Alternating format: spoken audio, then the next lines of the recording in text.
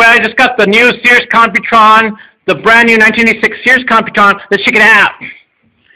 So there's, that's what it looks like. Okay? Now, I'm going to try to guess this word here. O. Okay? Z. Z. Z. Z. Okay, and then I'm going to try, I'm going to guess, uh, da, da, da. Y. Okay, so did I get it right? Yes, you are right. Computron, Computron, no one can compare. Sears Computron, Computron, only a noob would be unaware. Sears Computron!